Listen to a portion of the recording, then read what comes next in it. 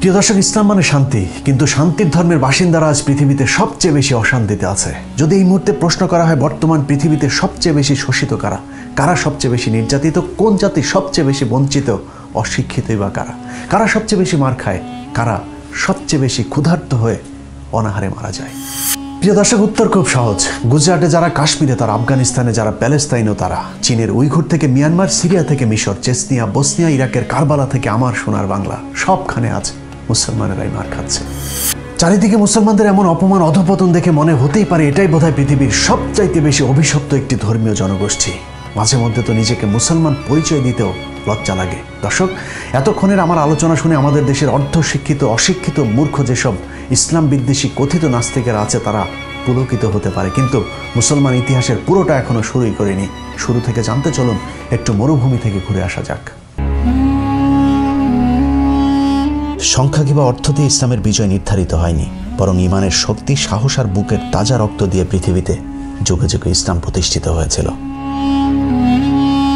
যা প্রমাণ করে গেছেন আরবের এক মহামানব, মহাদার্শনিক, মহাকাব্যিক হজরত মোহাম্মদ সাল্লাহ আলাইসাল্লাম শত হাজার লক্ষ মানুষের প্রয়োজন হয় না, একজন মানুষ কীভাবে পুরো পৃথিবীকে বদলে দিতে পারে, তার প্রমাণ তিনি নিজেই। রাম রহিমের গল্প কিংবা উপন্যাস নয়, মাত্র আজ থেকে সাড়ে চোদ্দ শত বছর আগে তিনি যা করে গেছেন, তার বাস্তব প্রমাণ এখনও পৃথিবীতে বিদ্যমান। মক্কার সবার কাছে প্রিয় আলামিন খেতাবধারী মানুষটা নবোধ লাভের পর রাতারাতি সকলের শত্রুতে পরিণত হয়ে গিয়েছিলেন। শুধু রাসুল সাল্লাহ সাল্লাম নয়, পৃথিবীতে যুগে যুগে যত নবী রাসুল এসেছেন, সবাইকে দিন প্রচার করতে গিয়ে নির্যাতন সহ্য করতে হয়েছে। হজরত মোহাম্মদ সাল্লা সাল্লামের প্রিয় জন্মভূমি মক্কায় দিন প্রচার করতে গিয়ে যখন বাধার সম্মুখীন হলেন, এমনকি মৃত্যু ঝুঁকি আসতে থাকল তখন আল্লাহর নির্দেশে তিনি হিজরত করলেন মক্কা থেকে মদিনায়। মক্কার মদিনা নাম শুনলে অনেকের হয়তো মনে হতে পারে এই গ্রাম থেকে ওই গ্রাম। বাস্তবে মক্কা থেকে প্রায় সাড়ে চারশো কিলোমিটার দূরত্বে হিজরত করতে হয়েছিল হজরত মোহাম্মদ সাল্লাহ আলাইহাসাল্লামকে মক্কার কাফেরা হজরত মোহাম্মদ সাল্লাহ সাল্লাম এবং তিনার সাহাবিদের অবস্থান জানার পর তিনাদেরকে হত্যার পরিকল্পনা করেন। সৌদি আরবের বর্তমান বদর শহরের কাছে তৎকালীন বদর উপত্যকায় এক অসম রক্তক্ষয়ী সংঘর্ষ বাধায় অসম বলার কারণ হচ্ছে হজরত মোহাম্মদ সাল্লাহ আলাই সাল্লামের নবদ লাভের পর প্রথম সেই যুদ্ধে কাফেরদের সংখ্যা ছিল প্রায় এক হাজারেরও বেশি, আর মুসলিম সৈন্যের সংখ্যা ছিল মাত্র তিনশো জন। অবশ্য কোনো কোনো ইতিহাসে এর সংখ্যা উল্লেখ করা হয়েছে তিনশো সতেরো। বদর প্রান্তরে ছয়শো চব্বিশ খ্রিস্টাব্দের তেরোই মার্চের সেই যুদ্ধ আজকের মুসলমানদের জন্য জ্বলন্ত এক উদাহরণ। দুই দলের মধ্যে যুদ্ধ শুরু হবার আগে কাফেররা যখন দেখল, তাদের চাইতে নিতান্তই কম সংখ্যক সৈন্য নিয়ে মুসলমানেরা যুদ্ধ করতে এসেছে, তখন কাফেররা ঠাট্টা করে মুসলমানদেরকে বলল, আমরা প্রথমে আমাদের তিনজন যোদ্ধাকে পাঠাচ্ছি। দেখি সাহস থাকলে তোমরা তোমাদের সেরা তিনজন যোদ্ধাকে পাঠাও। এদিকে তিনশো সতেরো, ওইদিকে এক হাজার দেখে সাহাবিরা খাবড়ে যাননি, বরং কাফেরদের দেয়া চ্যালেঞ্জ গ্রহণ করে সাথে সাথে এগিয়ে যান মুসলিম তিন বীর যোদ্ধা। কাফেরদের পক্ষে উজবা বিন রাদিয়া, সাইবা বিন রাবিয়া আল ওয়ালিদ ইবনে উদ্বার মতো তৎকালীন সময়ের রণকৌশলে পারদর্শী তিন শ্রেষ্ঠ যোদ্ধার সামনে মুহূর্তেই দাঁড়িয়ে যান মুসলিম তিন যোদ্ধা ওবায়দা বিন হারিস, হামজা বিন আব্দুল মোত্তালিব এবং আলী ইবনে আবু তালেব। একের পর এক কাফেরদের তিনজনকে হত্যা করার পর কাফেররা সম্মিলিত আক্রমণ করে মুসলমানদের উপর। মাত্র তিনশো সতেরো জনের ইমানি শক্তির কাছে সেই যুদ্ধে কাফেররা পরাজিত হয়েছিল। বদরযুদ্ধে রাসুসাল্লাহ সাল্লামের আপন চাচা আবু জাহেল ও উমাইয়া বিন খালেফের মতো শীর্ষ নেতা সহ কাফেরদের প্রায় সত্তর জন মারা গিয়েছিলেন। পক্ষান্তরে চোদ্দ জন মুসলিম সৈন্য সেই যুদ্ধে শহীদ হয়েছিলেন। তখনকার সময়ের অত্যাধুনিক সমরাস্ত্র সজ্জিত বিশাল বাহিনীর সামনে নিশ্চিত মৃত্যু জেনেও বদরের যুদ্ধে তিনারা শহীদ হয়েছিলেন বলেই অন্য যে কোনো যুদ্ধের শহীদদের চাইতে তিনাদের মর্যাদা সবচেয়ে বেশি। প্রিয় দর্শক জি, এভাবে শত হাজার লক্ষ মুমিনের পবিত্র রক্তের বিনিময়ে পৃথিবীতে ইসলাম প্রতিষ্ঠিত হয়েছে। এক সময়ের খেজুরের পাতায় ঘেরা জরাচীর্ণ মসজিদগুলোতে আমরা চাকচিক্যতা এনেছি, ছোট্ট কৌটায় ভরা পবিত্র আতরের বদলে আমরা নামি দামি ব্র্যান্ডের পারফিউম পেয়েছি। কিন্তু হারিয়ে ফেলেছি ওমর আলীদের সেই ইমানি শক্তি। বেইমানি এখন মুসলমানদের রক্তে মিশে গেছে মাত্র তিনশো সতেরো জন সৈন্য নিয়ে এক হাজার কাফেরের বিরুদ্ধে যুদ্ধ করা মুসলমান এখন সংখ্যায় ষোলো কোটি হলেও জিম্মি হয়ে আছে মাত্র কয়েকজন পুলিশের কাছে। বদরের সে বিজয়ের পর মুসলমানদেরকে আর পেছন ফিরে তাকাতে হয়নি। রাসুল সাল্লাহ সাল্লামের তেইশ বছরের নবতী জীবনের পুরোটাই অভাবনীয় গতিতে ইসলামের প্রসার ঘটেছে আরব ছাড়িয়ে এশিয়া, আফ্রিকা পর্যন্ত। ইংরেজি ছয়শো ছত্রিশ সালের আটই জুন রাসুসাল্লাহ সাল্লামের পৃথিবীর জীবনের সমাপ্তি ঘটলেও ইসলামের প্রবৃদ্ধি থামেনি।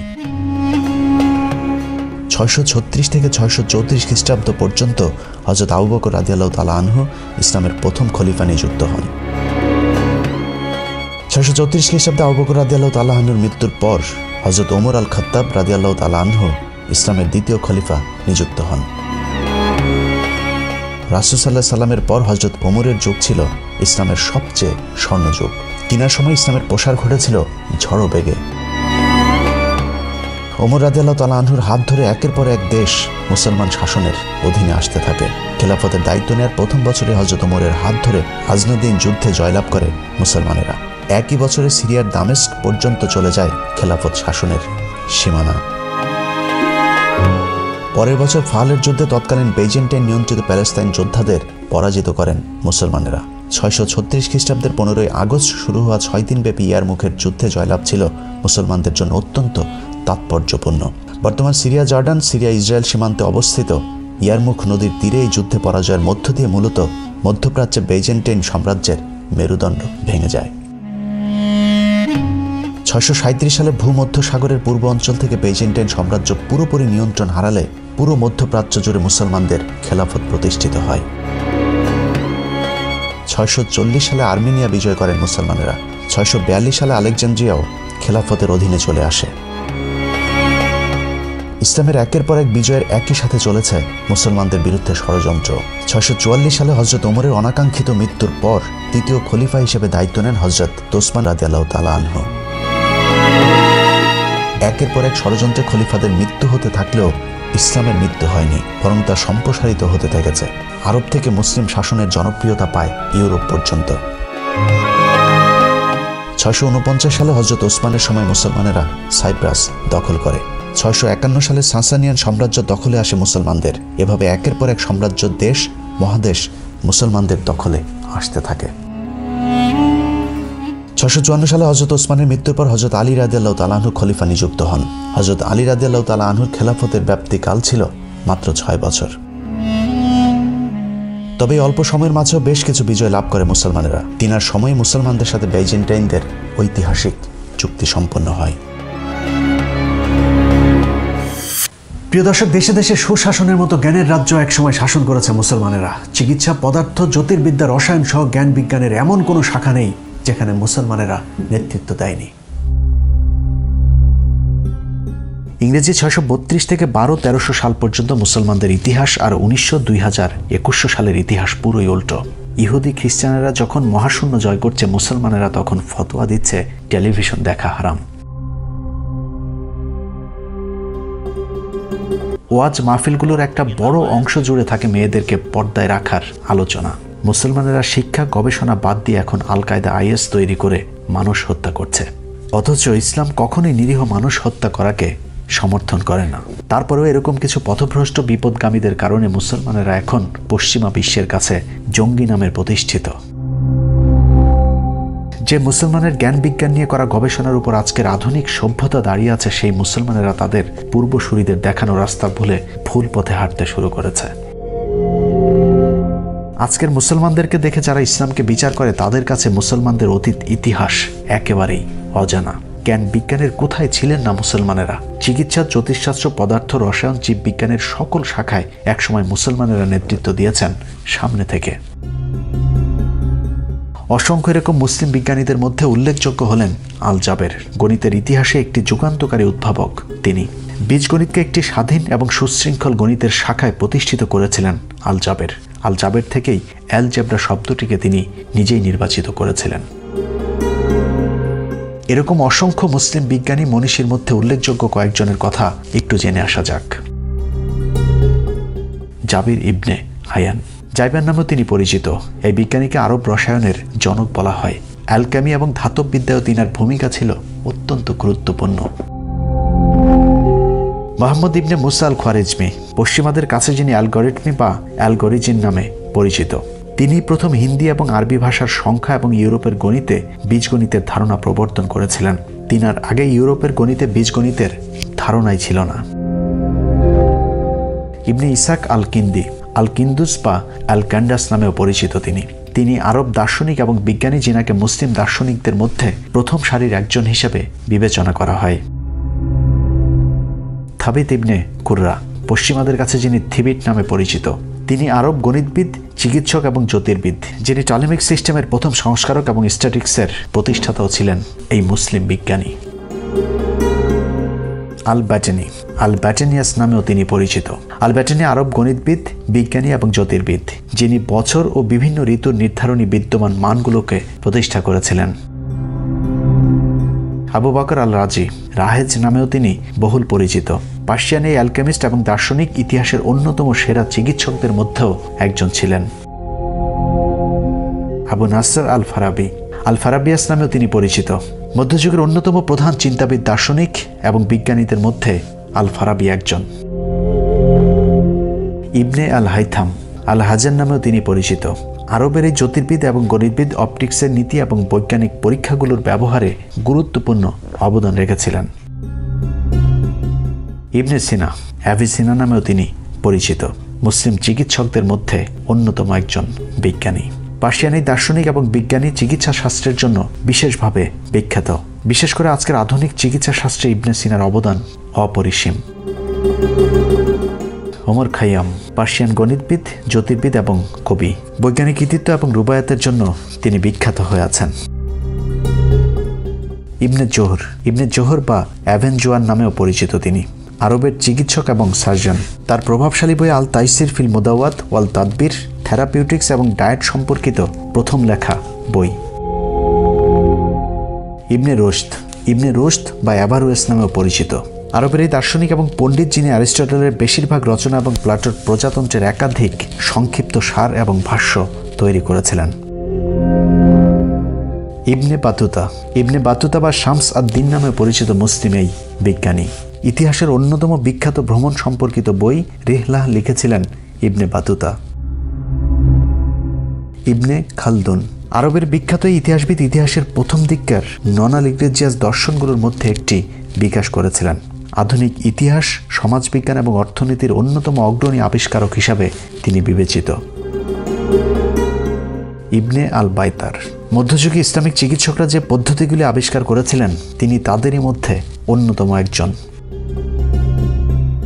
এরকম অসংখ্য মুসলমান বিজ্ঞানীদের গবেষণার উপর আজকের আধুনিক সভ্যতা দাঁড়িয়ে আছে। কিন্তু শুধুমাত্র মুসলমান হবার কারণেই তাদের নাম নিশানা পর্যন্ত মুছে ফেলার চেষ্টা করা হচ্ছে। ঠিক যেভাবে আদম থেকে অ্যাডাম, ইব্রাহিম থেকে আব্রাহাম হয়েছে। লম্বা একটা সময় ধরে মুসলমানেরা জ্ঞান বিজ্ঞান থেকে দূরে থাকার কারণে আমরা তাদের নাম পর্যন্ত ভুলে যেতে বসেছে। মাঝে মধ্যে ইসলাম বিদ্বেষী নাস্তিকদের কাছে শুনতে হয় মুসলমানেরা অশিক্ষিত, বর্বর একটি জাতি। বর্তমান পৃথিবীর মুসলমানদের সবচেয়ে বড় শত্রু পাশের দেশ ভারত, যাদের অর্ধেক মানুষের স্যানিটাইজেশন সুবিধা নেই। অথচ শুধুমাত্র পারমাণবিক ক্ষমতার কারণে বিশ্বের দ্বিতীয় পরাশক্তি চীনের সাথে লড়াই করার সাহস দেখাচ্ছে এই ভারত। হাস্যকর বিষয় হলো যে পারমাণবিক শক্তির দাপটে ভারত, চীন এবং পাকিস্তানের সাথে যুদ্ধ করার সাহস দেখায় সেই পারমাণবিক শক্তি অর্জনের একচ্ছত্র কৃতিত্ব একজন মুসলমানের, যার নাম এপিজে আবুল কালাম আজাদ প্রিয় দর্শক হাজার সেদিন নেই। মুসলমানেরা আজ পৃথিবীর সবচাইতে পিছিয়ে পড়া জাতি। ইসলামী আদর্শ আর জ্ঞান বিজ্ঞানের বাইরে গিয়ে মুসলমান নেতারা আজ নারী, গাড়ি, বাড়ি নিয়ে পাড়িয়ে দিয়েছে অজানা এক গন্তব্যের দিকে। একসময়ের জ্ঞান বিজ্ঞানে নেতৃত্ব দেওয়া মুসলমানেরা এখনও তরবারি দিয়ে পৃথিবী জয়ের ইতিহাস নিয়েই আত্মতুষ্টিতে ভুগছেন। কিন্তু এতদিনে পৃথিবী যে কোথায় চলে গিয়েছে, তার কি কোনো খবর আছে? তরবারি দিয়ে জেহাদ করার দিন শেষ। এখন পৃথিবী চলে বুদ্ধির জোরে। প্রযুক্তির জোরে ছোট্ট একটি ইহুদি রাষ্ট্র পুরো আরবের মুসলমানদেরকে শাসন করে চলেছে। অন্যদিকে তেল আর স্বর্ণ বিক্রি করে খাওয়া আরবরা এখন পৃথিবীর সবচেয়ে অলসার মূর্খ জাতি। উপমহাদেশের মুসলমানদের অবস্থাও একই রকম। ব্রিটিশরা ভারত উপমহাদেশে আসার পর হিন্দুরা যখন ইংরেজি শিখে অফিস আদালতগুলোতে চাকরি শুরু করল তখন মুসলমানদের ধর্মীয় নেতারা ফতোয়া দেওয়া শুরু করল ইংরেজি শিখলে নাকি মুসলমানেরা সব কাফের হয়ে যাবে। সেখান থেকে আমাদের অধপতন শুরু। মোল্লারা শেষ পর্যন্ত মাদ্রাসার শিক্ষা ব্যবস্থা পেয়েছে কিন্তু সেই সব শিক্ষা ব্যবস্থা আধুনিক শিক্ষা থেকে অনেক দূর পিছিয়ে। ঘরের মধ্যে টিভি ঢুকাইছেন টিভি দেখা হালাল না হারাম? মাত্র কিছুদিন আগে টেলিভিশন দেখা ফতোয়া দেয়া মোল্লারা এখন টেলিভিশনের নিয়মিত অতিথি। ইস্তেমার মাঠে ক্যামেরা ঢুকতে না দেয়া তবলিগের লোকেরা এখন সাংবাদিক ডেকে সংবাদ সম্মেলনও ঘটছে নির্বাচনে অংশ নেয় জামাতকে কাফের ফতোয়া দেয়া পীর সাহেবেরাও এখন হাত পাখা মার্কায় নির্বাচনে প্রতিদ্বন্দ্বিতা করছেন। আমেরিকার বিরুদ্ধে সোশ্যাল মিডিয়াতে জেহাদ করা মৌলভীরা হয়তো জানেনই না, ফেসবুক, ইউটিউবে সব কিছুরই নিয়ন্ত্রক আমেরিকা। সুতরাং জেহাদের চিন্তা বাদ দিয়ে মুসলমানদের উচিত নিজেদেরকে আগে সংশোধন করা। বাংলাদেশের মতো পঁচাশি ভাগ মুসলমান অধ্যুষিত একটি দেশ যে দেশের সংবিধানের প্রস্তাবনায় বিসমিল্লাহ রহমানুর রাহিম লেখা আছে। আছে খাতা কলমে রাষ্ট্রধর্ম ইসলামও, কিন্তু মুসলিম এই দেশে আজ মানুষকে নামাজ পড়তেও বাধা দেওয়া হয়, অথচ আমেরিকার এমন একটি মসজিদও নেই যেখানে তারাবির নামাজ বন্ধ করা হয়েছিল। অতএব মুসলমানদের শত্রু এখন আমেরিকা না, বরং মুসলমানেরা এখন মুসলমানদের সবচেয়ে বড় শত্রু। আমরা যারা মসজিদে আকসাতে ইসরায়েলি বাহিনীর হামলার বিরুদ্ধে কথা বলছি, তারা হয়তো ভুলেই গিয়েছি, মাত্র কয়েকদিন আগে বাইতুল মোকাররমের ঠিক একই কায়দায় হামলা করেছিল আওয়ামী লীগের সন্ত্রাসী বাহিনীরা। অথচ তারাও তো নামে মুসলমান।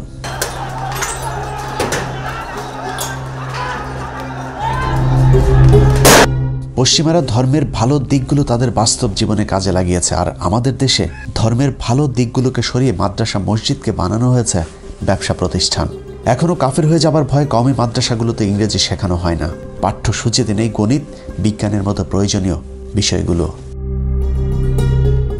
যে কারণে দেশের দ্বিতীয় বৃহত্তম শিক্ষিত এই জনগোষ্ঠীর জন্য মাদ্রাসা বা মসজিদে চাকরির বাইরে আর কোনো সুযোগ থাকছে না।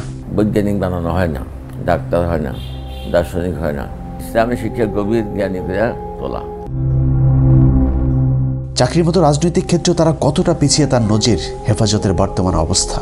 ভারতীয় গোয়েন্দা সংস্থা রয়ের ডিভাইড অ্যান্ড রোল পদ্ধতিতে বাংলাদেশের মুসলমানদেরকে ধ্বংসের যে মিশন হাতে নেওয়া হয়েছিল, তা হয়তো তারা বুঝিয়ে উঠতে পারেনি।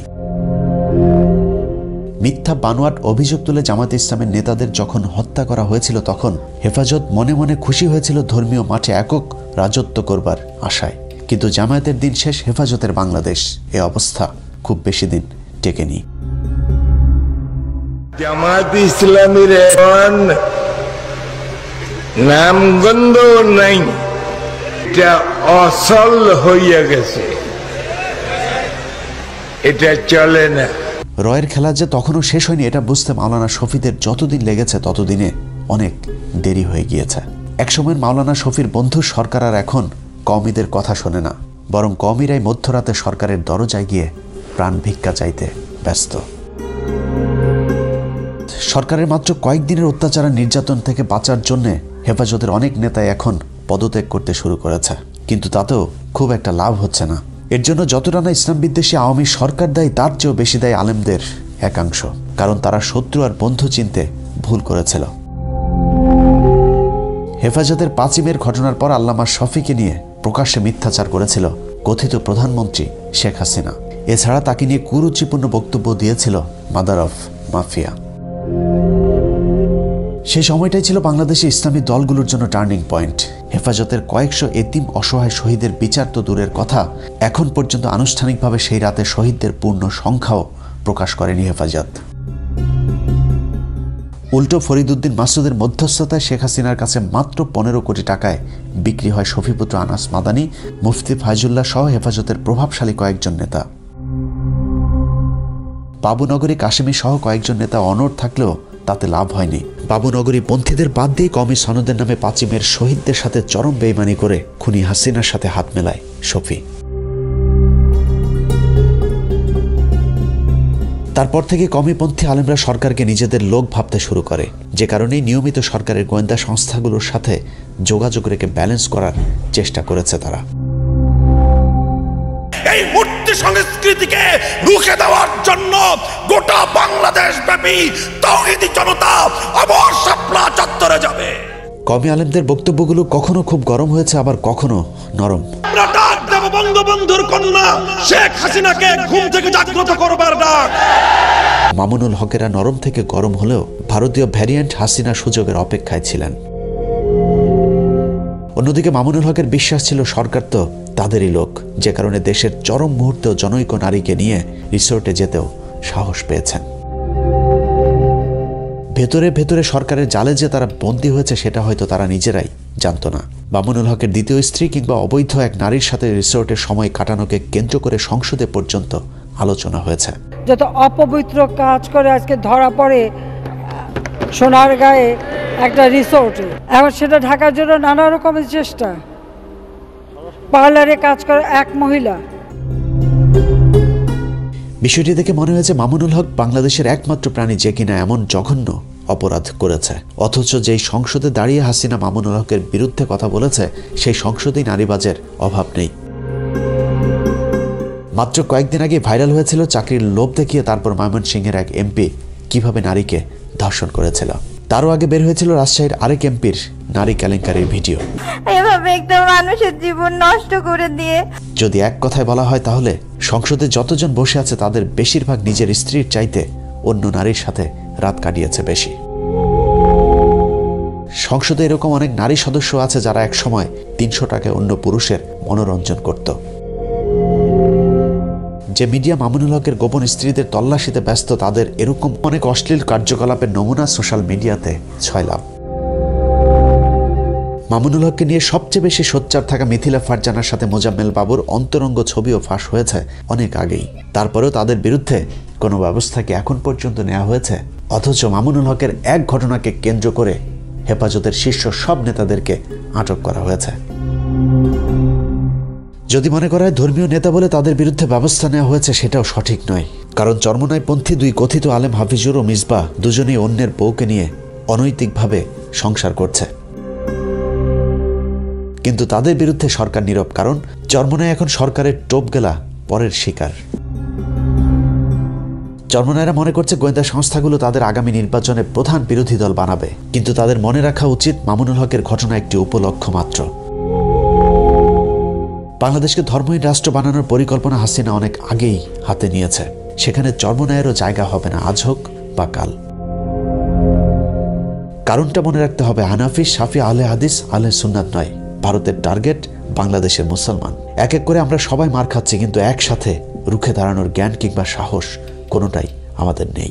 যে কারণে সামনের দিনগুলো বাংলাদেশের মুসলমানদের জন্য আরও বেশি ভয়ঙ্কর হয়ে উঠতে পারে।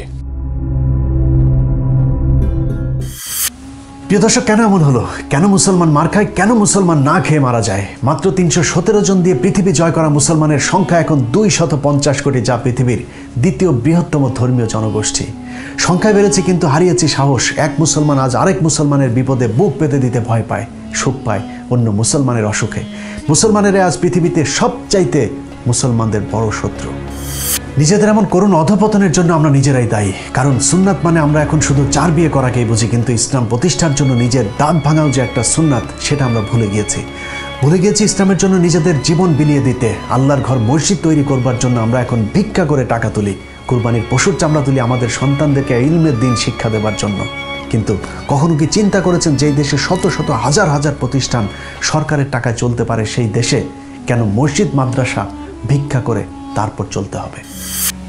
ভিক্ষা করে পৃথিবীতে ইসলাম প্রতিষ্ঠিত হয়নি। ভিক্ষা করে হয়তো কোনো রকম বেঁচে থাকা যায়, কিন্তু নিজের পূর্ণ অধিকার প্রতিষ্ঠায় লড়াই করতে হয়। তার জন্য প্রয়োজন ঐক্য। কে কোথায় হাত বাঁধে, কে বিশ্বাস করে কোন মাঝাবে কে হেফাজতি, কে জামাতি, এসব নিয়ে তর্ক করার সময় এটা না। ষোলো কোটি মুসলমানের দেশে রমজান মাসে বন্ধ হয়ে যাওয়া মসজিদ, মাদ্রাসা যদি খুলতে হয়, তাহলে তালা ঝুলাতে হবে অত্যাচারী শাসকের হাতে।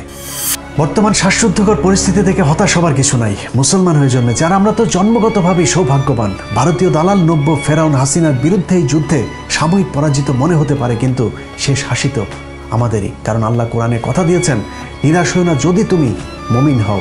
বিজয় সুনিশ্চিত। আল্লাহ হাফেজ।